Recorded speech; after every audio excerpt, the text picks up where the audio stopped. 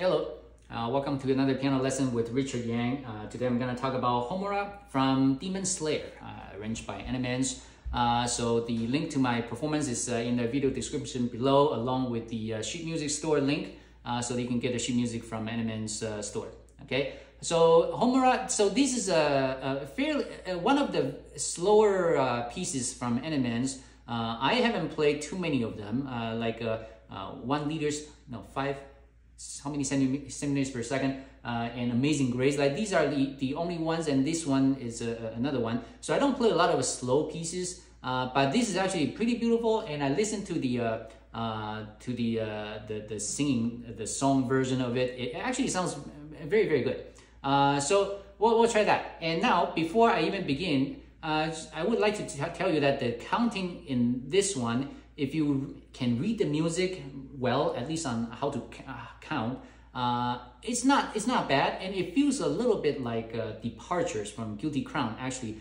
Um, so the counting, it, it, you can count it exactly. There is no ambiguity uh, there, uh, but for some it may be new. So bottom line, you need to learn how to uh, read the music or listen to the recording over and over and over again until you believe it. Okay, so in the beginning.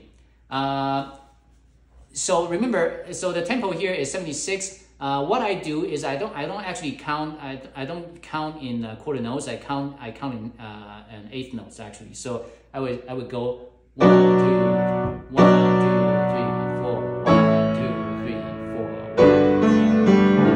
That's how I, uh, how I count in my mind because uh, counting in uh, quarter notes um, it's it feels different. I, I count in uh, uh, eighth, eighth notes, it, it works better for me, but it might be different for you, okay?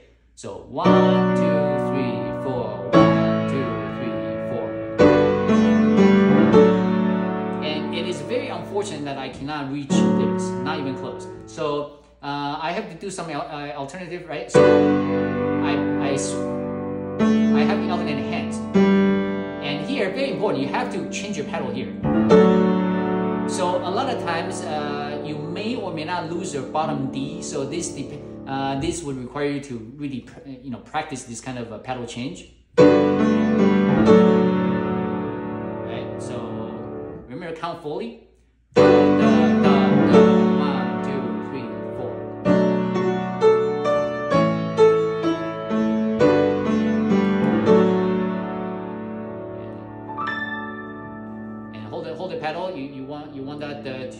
Maintain. Now,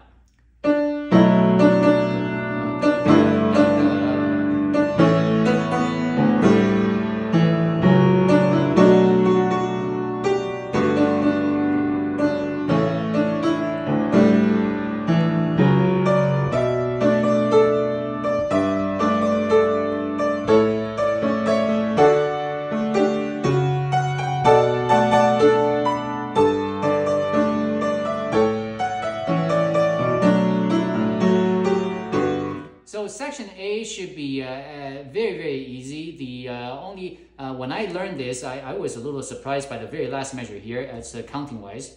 Right, so you just need to get, get used to that.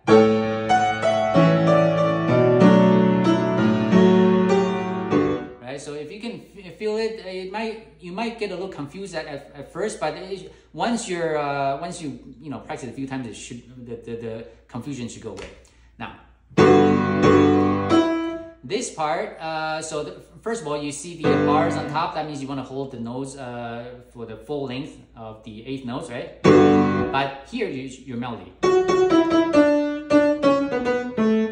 right? So. I take the pedal off completely on, on E, by the way. Okay, uh, let me play this slowly.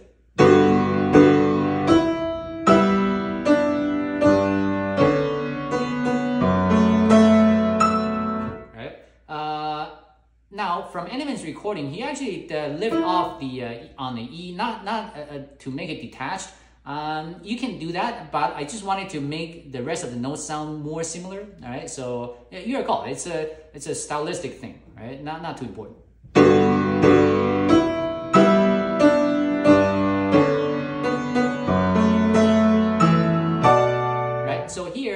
This is what I'm talking about. This makes this feel not like a 4-4 because uh, it just doesn't, uh, it's a little um, different than regular 4-4s.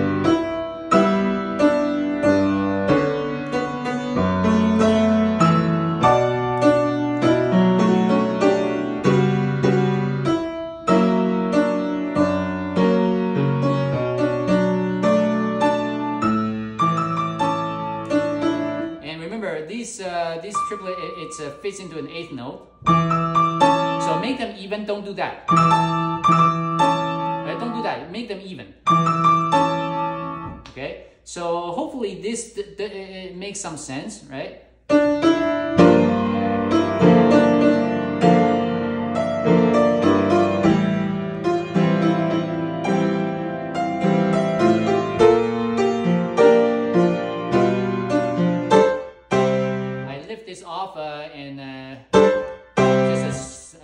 Thing. So this part, the counting wise, it, it, may really throw you off. The notes are very simple. It's just that uh, I personally, I, I this is the first time I play something with this kind of a rhythm. I, no, it's not really rhythmic, but anyway, this kind of uh, arrangement, right?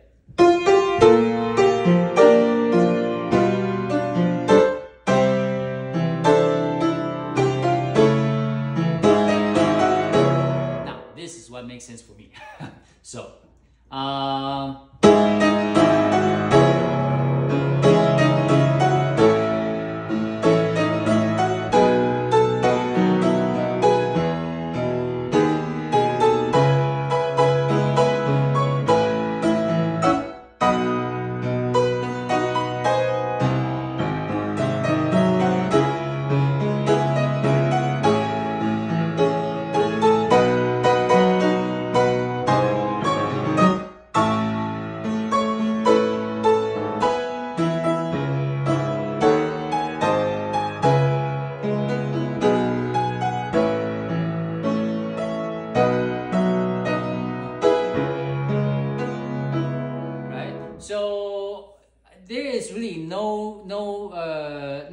This, right? So hopefully it makes some sense to you, right? Let me do that one more time.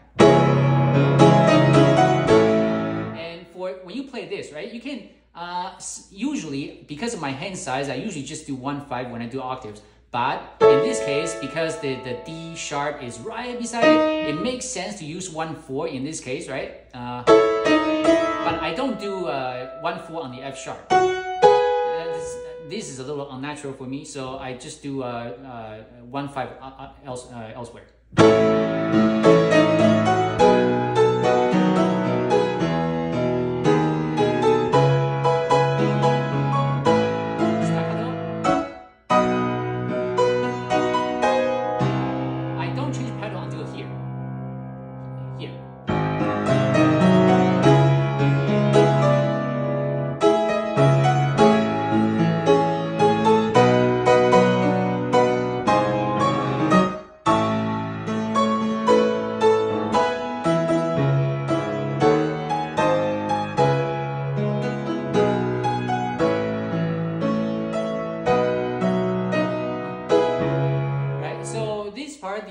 uh, need to work on is uh, your accounting to make sure that the um, you, you, first of all to count it correctly uh, is one thing, and then you have to convince yourself that it, it is correct. So once you believe it, um, you can make this more convincing. Section B.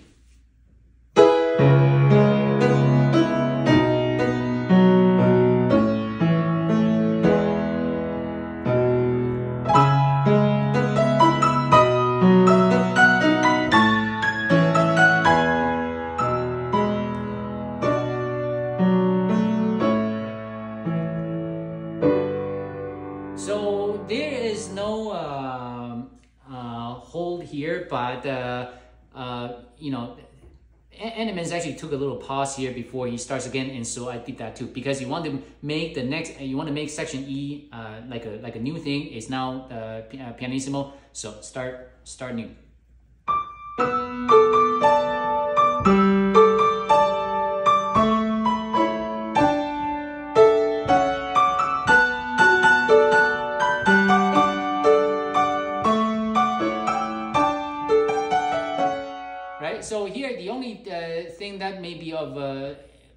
Is this. Right here, you want to do pretty fast, right? From this to here. One more time.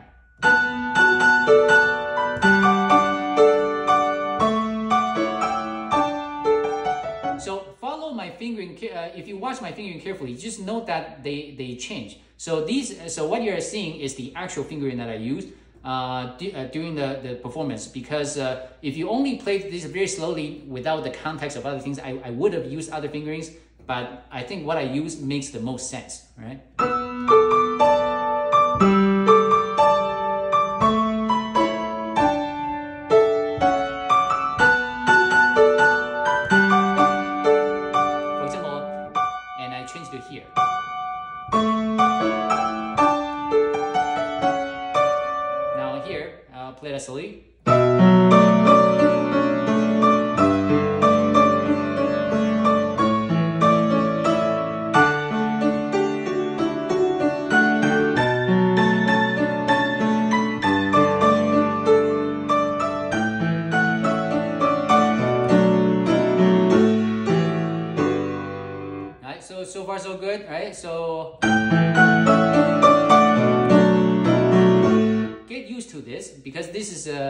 To this piece, right?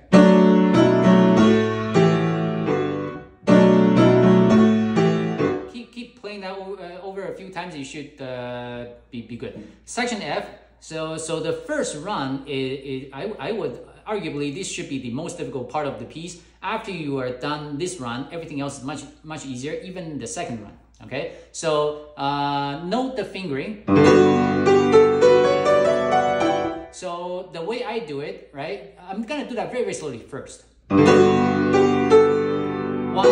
three, four, five. One, two, three, four, five. One, two, three, four, five. One, two, three, four, five. One, two, three, four, five. That's literally how. I, no, I, I don't say one, two, three, four, five, but uh, I that's how I uh, learn learn this, right? Right,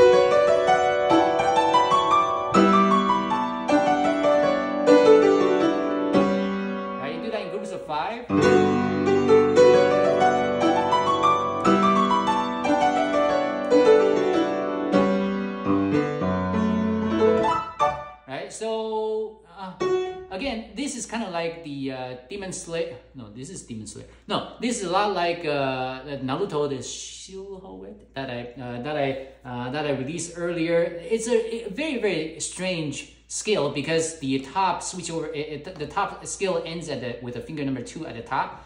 Very very strange, but uh, the good thing is once you are very familiar, you can play that.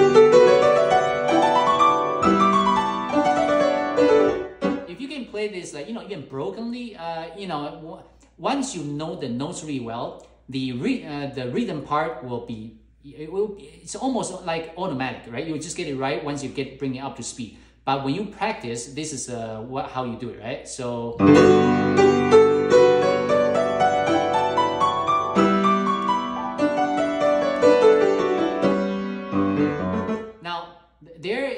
A, I'm going to teach you the way that I think about this so that it would make some more sense to you. Uh, first of all, this overall plays like a D scale, right? Now, so the, it's very convenient that this set, the changeover, you you start with the finger number, uh, finger number one. So the way I think about it is that I do this, and going down, remember, finger number two first, finger number two, four, two.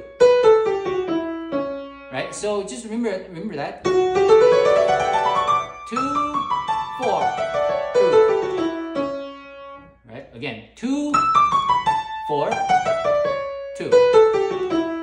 And also on the last going down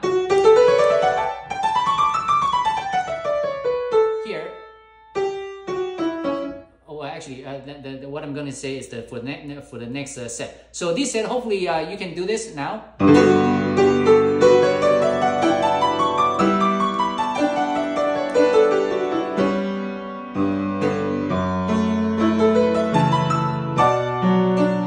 Right, so this one goes like this. Right? remember when you go up, because there's a changeover on the E, so this is your downbeat. Right?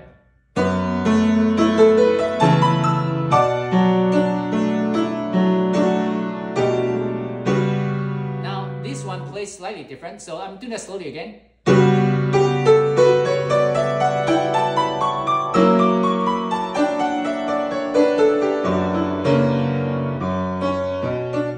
Right, so you know the scale is the same, but the, the, the, the melody is slightly different, but the way you think is the same.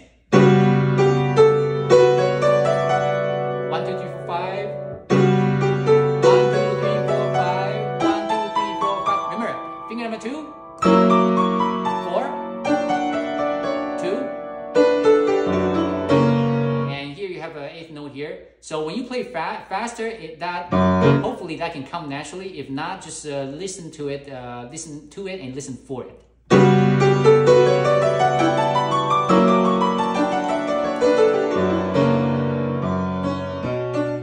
And so, oh, oh, okay. So the trick I'm talking about is when you go up.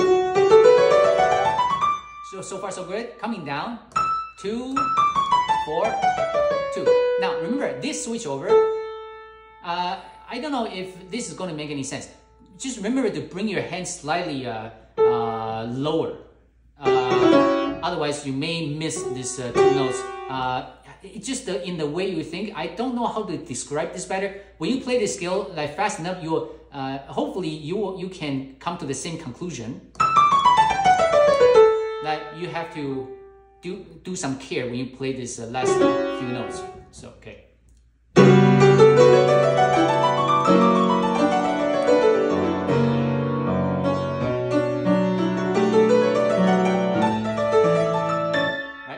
One, uh, just make sure you can capture all those notes in the uh, in the span of how many eighth notes, right?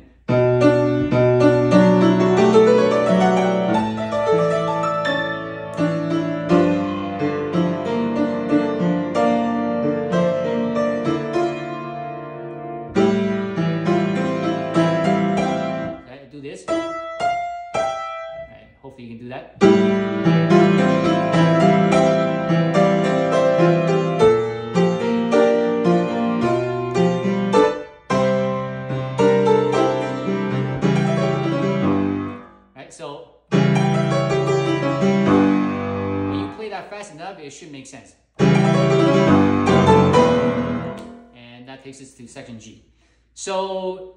Section G, right? Um, when you have uh, these, uh, when you have right hand like this, uh, right hand notes like this, it's, it might be a little difficult to count that the you know the one and a half, the, the, the dotted eighth. Uh, it might be a little hard to count that. So I don't do that. I actually use my left hand to count, right? Because you have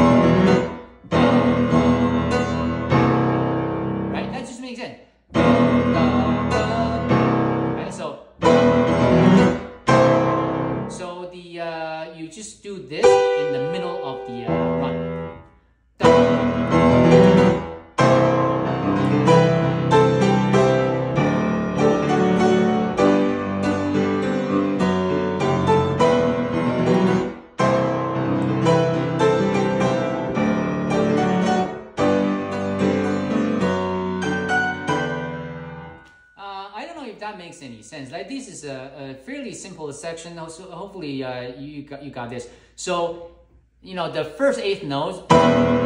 Use this as your guide to where the second eighth note comes in. Then then you would know this uh, when to get this in, right?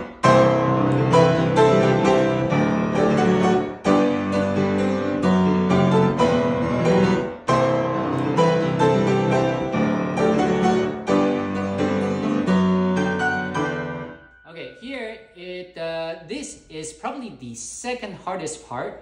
Uh, I'm, I'm gonna show you why.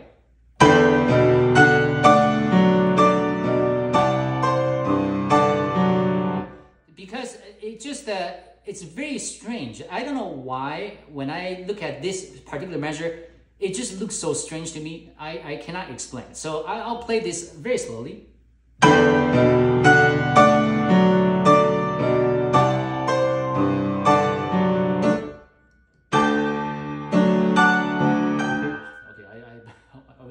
For notes. Uh,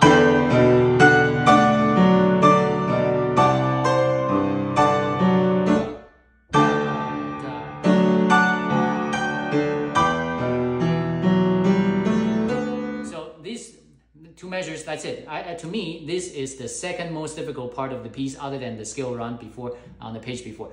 A very strange place to uh, feel the difficulty, but it's really, it, this confused me for, for a long time. So.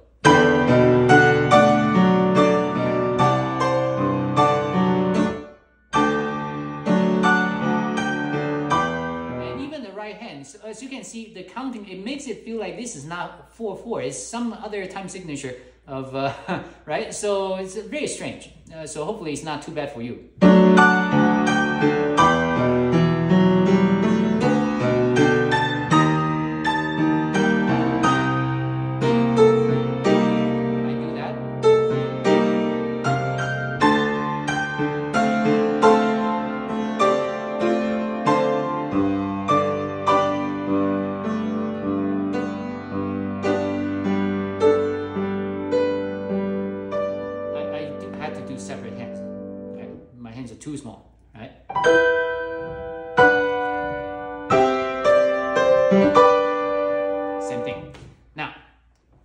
Uh, glissando. So,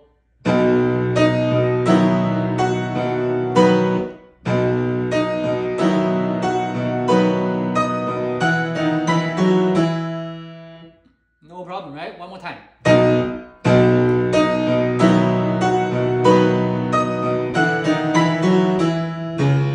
That takes us to the section H. So this is the, the climax of the piece. Uh, so three hand technique. I, I really don't know why people call it three hand technique because I really only have two hands and I'm, I'm just playing whatever it takes to uh, capture the music in front of me. So do that slowly.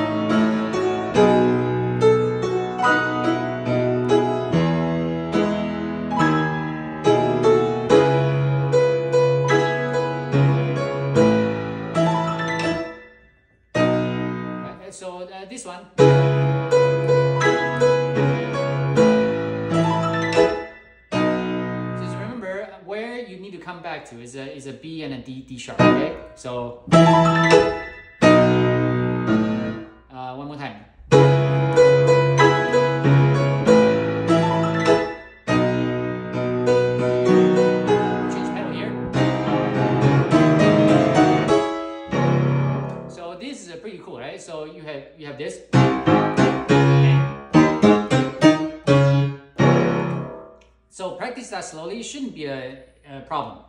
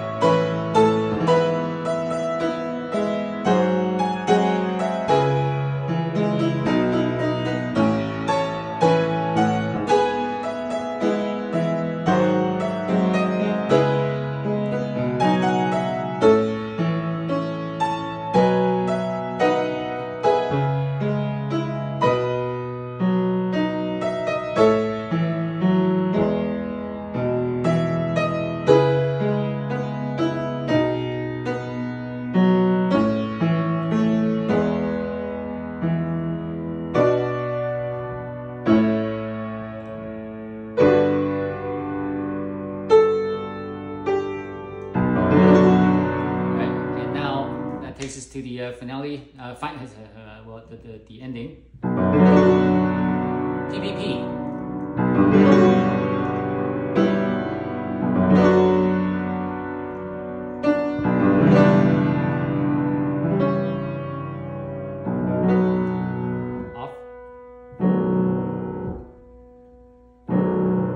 It.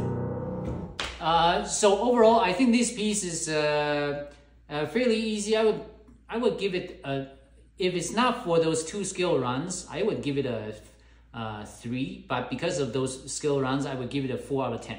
Okay, so that's uh that's uh, hopefully you liked it. Uh, please remember to uh, comment, like, and subscribe. All all that uh, good stuff. Thank you.